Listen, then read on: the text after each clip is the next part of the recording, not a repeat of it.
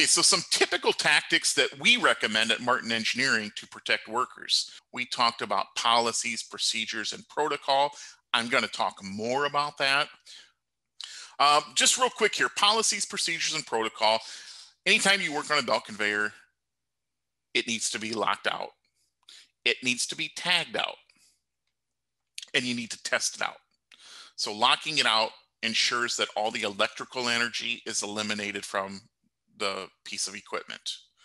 Tagging it out simply means that you add your tag to that lock so anyone can verify who the worker is that's tagged it out. And then finally, testing it out is to verify or ensure that there is no energy. So you try to start up the conveyor. What's often overlooked is what's called a blockout procedure. When you lock when you lock out a belt conveyor, you're eliminating the electrical energy. But sometimes belt conveyors can have stretch to them. And locking out or eliminating that electrical energy does not eliminate that stretch and that potential energy that you have that comes along with the stretch in that belt. When a worker doesn't account for that stretch, and then that stretch is released unexpectedly, it can cause harm. Real briefly here, let's talk a little bit about a blockout procedure. So even though a conveyor is locked out and tagged out, the risk of injury exists due to the chance of uncontrolled belt movement. So there's an MSHA standard. There's an OSHA standard as well that says that uh, any repairs or maintenance of machinery or equipment shall be performed only after the power is off and the machinery or equipment is blocked out against hazardous motion. This standard doesn't exclude belt conveyors.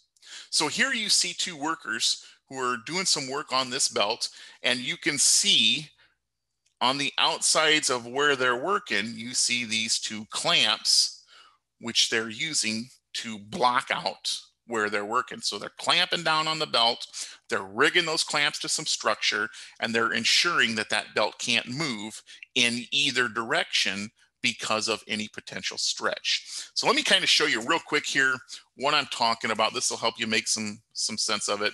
Here's a belt okay? And let's say it's getting loaded right here. Let's say this belt's getting loaded with material.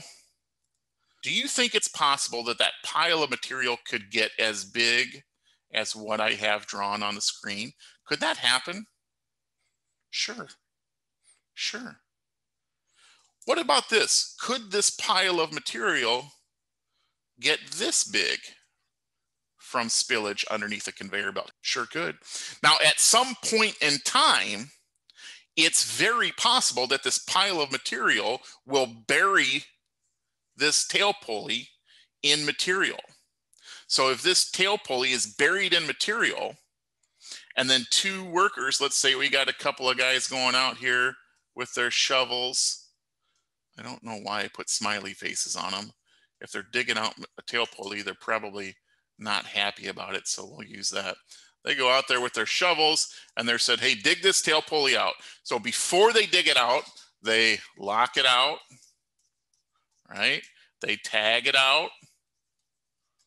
They test it out, but they did not block out. So this conveyor was tripped out while it was running there's a brake or a backstop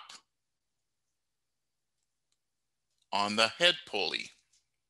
The tail pulley's buried in cargo. That means that there's tension on this side of the belt.